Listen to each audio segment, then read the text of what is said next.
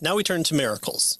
Well, what are miracles according to the um, to the presuppositional reformed apologists? Well, miracles for us or for them as a, uh, as a revelation by God. That's the, the portion we're on. In classical apologetics, once it is established that God exists and could do miracles, the historical evidence is the Bible may be fairly considered to determine whether God did in fact do miracles. Those, those are the two. Uh, in evidentialism, then, the evidence that miracles have occurred is uh, potent and may be part of, or even the primary part of a case for the existence of God in the Bible. And so there's our classical and there's our evidentialist. But what does Reformed apologists say? Reformed apologists object to both approaches. I mean, just just sticky wickets in the mud. How, how dare? I mean, it just seems like they're a, a distinctly different approach uh, in all these cases. They do agree that one must be convinced that God exists in order to take the biblical miracles seriously. But they reject the idea of using an inductive method to determine whether biblical miracles have occurred. Okay. So notice, for the most part, both the classical and the evidentialists uh, use miracles in the same way, right? And uh, the evidentialists, as you mentioned, uh, are stronger with regard to their use of, of miracles because they can suggest that miracles can do the whole heavy lifting, all of it. right. Whereas the classicalist has this two step approach. You prove that God exists, and then that miracles show that the Christian God is the one that uh, you should believe in, right? The evidentialist says, well, just by virtue of examining the facts for the miracles shows that the Christian God is exists right. and you should believe right, right. reform uh, apologetics is is a little different than both of these mm-hmm. so for instance for clark we need uh, revelation to know what God has done in history for us because the empirical study of history by itself cannot yield truth, right? Or true knowledge. And for Van Til, we need revelation in order to have the proper worldview perspective from which to study history, right?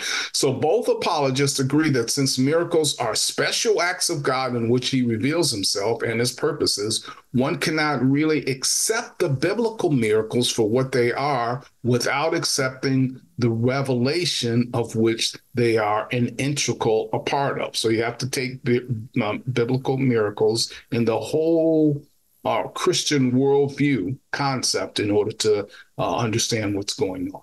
Right, right. So uh, if we talk about the holistic approach of presuppositionalism or reformed apologetics, this is what's being talked about: is that removing one uh, falters the other. It's it's a foundation. You don't if you're building a house, there's no part of the foundation where you're like, ah, you know what? I don't really need that part of it. So let's let's cut it out. and so we can be impressed by uh, by those that just had the first five books of Moses, but also they had uh, direct revelation from God in there. Now we have 66 books, and we have a, a great foundation, uh, and then it's built upon the the apostles and the disciples, the the the, um, the two thousand years of church history now, and so uh, you know we're even more blessed, even if we don't have Jesus, uh, you know, uh, feeding us and five thousand other people. well, according to Van Til, the real underlying reason non Christians object to the biblical miracles is they imply the existence of God right? and it's a God who is sovereign over all of all natural laws and, and, all fact, and therefore sovereign over them.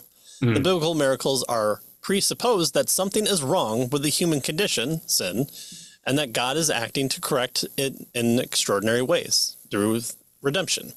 Thus are uh, they are thus an affront to non Christians. Right. So you know you you you have um, you have God uh, um, uh, send a flood. You have him uh, raise Jesus from the dead.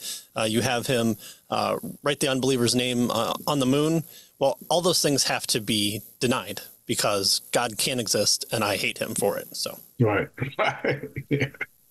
Uh, so, Reformed apologists then also criticize the traditional historical argument for the resurrection of Jesus and typically offer at least two related criticisms of this particular historical argument for the re- uh, resurrection of Jesus. First, they argue that the historical argument, insofar as it seeks to prove the resurrection without presupposing the truth of Christianity, is fallacious, right? It's just, uh, it's not a good argument.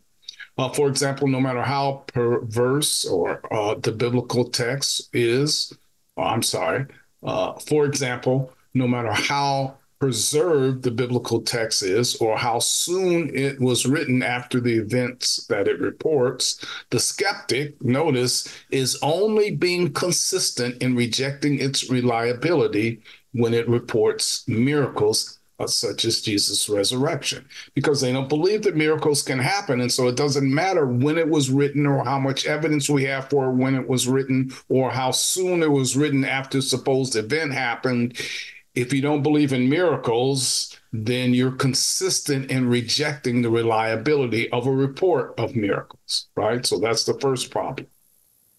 Right. The second problem is that Reformed apologists argue that skeptic uh, that the skeptic always agrees that Jesus may have risen from the dead, but that's just that it doesn't prove that he is God incarnate, right? Uh, in the in the world of random acts of, of universes coming into existence, of fish turning into princes, or of fish to frogs to princes. Uh, you know, what's another guy who rises from the dead? It just it just so happens. Yes, it's rare. Uh, in fact, this might be the only case. But he is God from there. All right, so he called it. But so what? you know, uh, I, I expect to win the lottery, and if I do, does that mean that I'm God? So. yeah. yeah, I think uh, Van Til makes an argument about uh, you know the uh, unbeliever who says, "Oh wow, well if that happened, let's report it to Ripley's Believe It or Not." exactly. well, the only way out of this apologetic nightmare, according to Van Til, is to challenge the unbeliever's philosophy of fact and to present the resurrection, along with all other facts, as meaningful only in the context of Christian theism. What what uh, what worldview has uh, the the the best explanation for a man who claims to be God to uh, and and said that he would rise from the dead, and he did. What, what uh, by what by what context uh, are we able to make uh, the the sense of of this of these facts? All right, so that's miracles and the kind of reformed approach towards arguments with regard to miracles.